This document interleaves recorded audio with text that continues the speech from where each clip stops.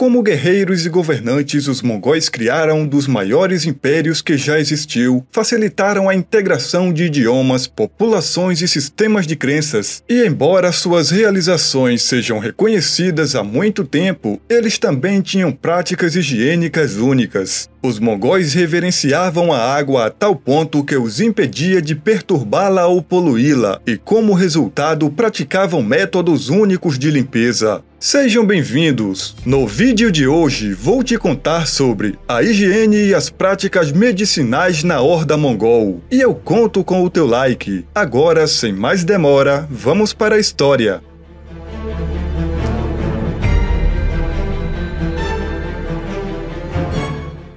O missionário franciscano Guilherme Robrook viajou por todo o Império Mongol durante o ano de 1250, registrando suas viagens. Guilherme descreveu os penteados mongóis, observando que os homens raspavam as seções do topo da cabeça, ao longo das têmporas e pescoço e na testa até o topo da cabeça. O cabelo comprido nas laterais da cabeça era então transformado em tranças. Da mesma forma, as mulheres raspavam a frente da cabeça ao se casar e deixavam o resto do cabelo crescer.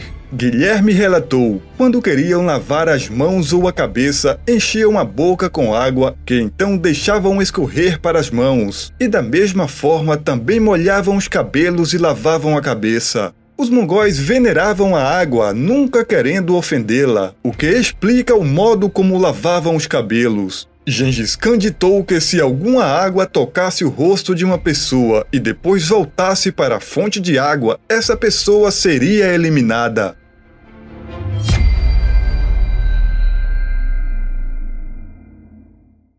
Como ávidos guerreiros, os mongóis eram propensos a ferimentos por flechas. Gengis Khan foi ferido em várias ocasiões, salvo pelos esforços dos dedicados homens que sugaram sangue de suas feridas. De acordo com a obra do século XIII, A História Secreta dos Mongóis, quando Gengis Khan sofreu um ferimento no pescoço que sangrou incontrolavelmente, seu criado sugou o sangue. Quando o Khan pediu algo para beber, seu servente foi procurar cumes, uma espécie de leite fermentado e água, que deu a Gengis Khan, evitando a desidratação após ter passado a noite controlando perigosos coágulos. O médico e historiador persa Rashid al-Din registrou uma declaração que atribuiu ao Khan. Supõe-se que Gengis Khan tenha dito que o exercício de sugar sangue trouxe de volta a centelha de vida que havia partido e ele poderia se mover novamente.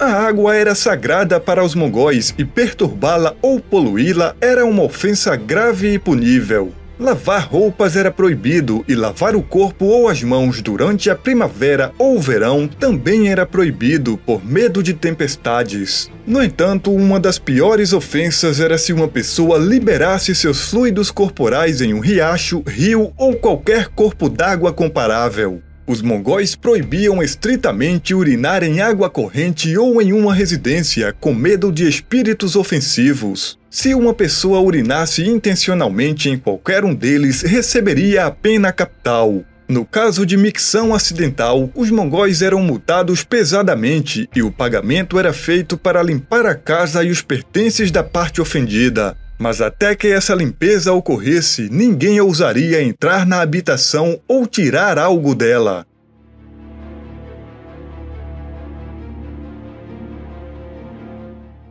De acordo com o IASA, uma coleção de regras e leis articuladas por Gengis Khan, os mogóis eram proibidos de lavar roupas em água corrente. Alguns estudiosos interpretam o mandato para se aplicar apenas durante tempestades, mas Guilherme de Rubruck pensou que era por medo de que lavar as roupas causasse tempestades. Guilherme escreveu: Eles nunca lavam roupas, pois dizem que Deus ficaria zangado com isso e que trovejava se as pendurasse para secar. Eles temem extraordinariamente o trovão. Todos em suas moradas envolvem-se em um feltro preto e assim escondem-se até que a tempestade passe. Sua aversão a lavar roupas era levada a sério e os que eram pegos eram espancados. Em vez de lavar, o Khan esperava que seus companheiros mongóis usassem a mesma peça de roupa até que ela se desgastasse.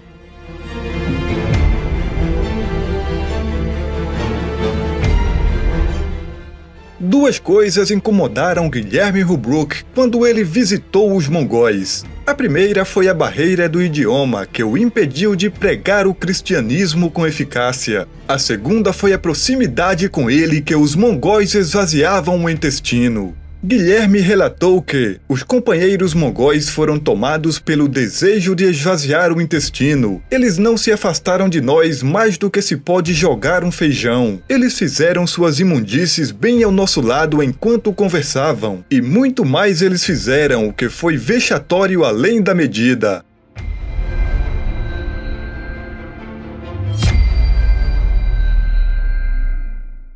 Quando os mongóis atacaram Xianyang em 1274 em seus esforços contra a dinastia Song, um dos guerreiros foi atingido por um projétil machucando seu ombro. Depois de ser novamente atingido por uma flecha, Bayan, um dos comandantes de maior confiança de Kublai Khan, ordenou que alguém abrisse a barriga de um búfalo e colocasse ele dentro dela. Depois de um bom tempo, então, ele sobreviveu. Tanto búfalos como bois eram usados porque os corpos forneciam calor para salvar vidas. A importância de pastorear animais também indica que a prática provavelmente era reservada a homens de alto escalão.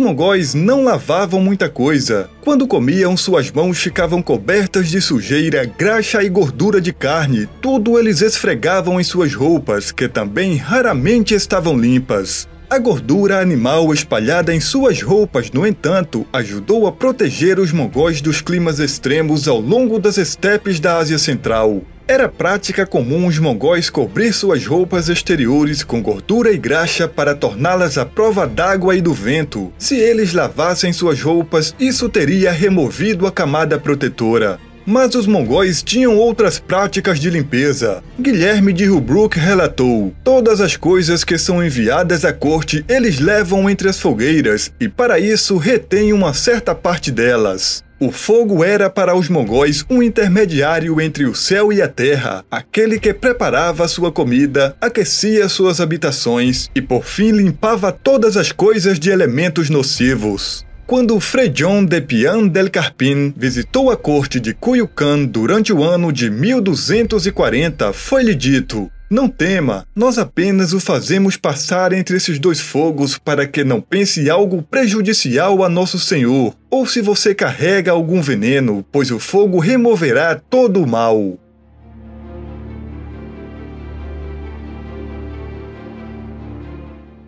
Os mongóis acreditavam que o engasgo durante uma refeição era causado por algum tipo de demônio, um que precisava ser eliminado. Se um indivíduo se engasgasse com um pedaço de comida e o cuspisse, a infração era dupla. A pessoa não apenas desperdiçava a comida, mas também poluía a casa onde estava comendo. Segundo o Frei John de Pian, se alguém pegasse a comida e não podendo engolir, cuspi-lo fora, um buraco era feito sob a habitação e o indivíduo seria arrastado para fora por esse buraco e eliminado sem piedade. Esses foram alguns métodos higiênicos e as práticas medicinais na Horda Mongol. Eu fico por aqui e te peço para deixar o like e se inscrever no canal para receber todos os vídeos. Nos vemos na próxima história.